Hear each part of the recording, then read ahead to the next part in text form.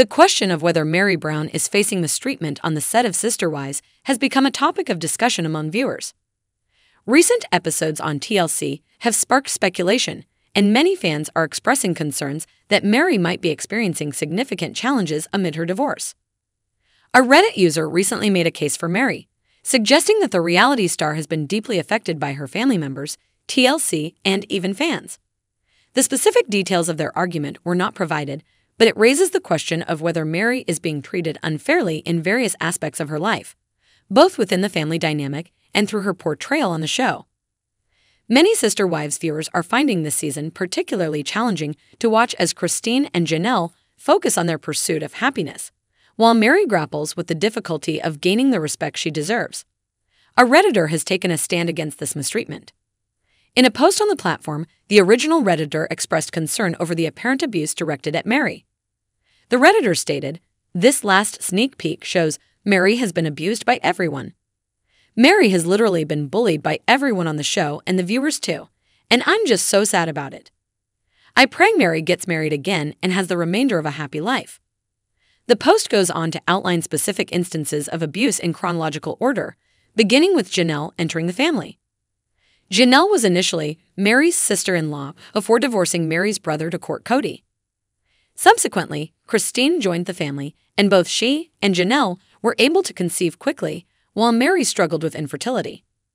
The conflicts among the women escalated, leading to strained relationships and difficulties in getting along. When Robyn joined the family, Meri initially hoped for an ally in the house.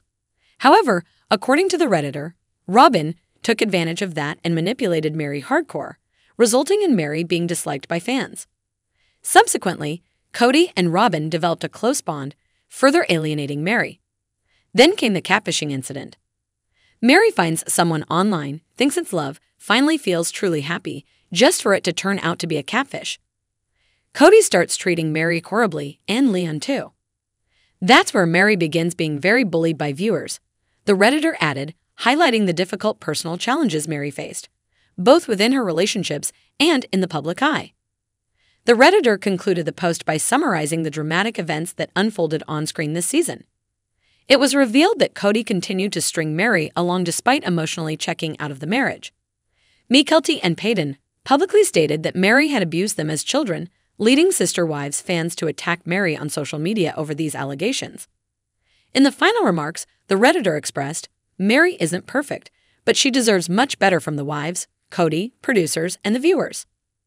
I hope she finds peace and fights for her equal share on CP. Many other Redditors echoed this sentiment, adding that the situation seemed doomed from the start.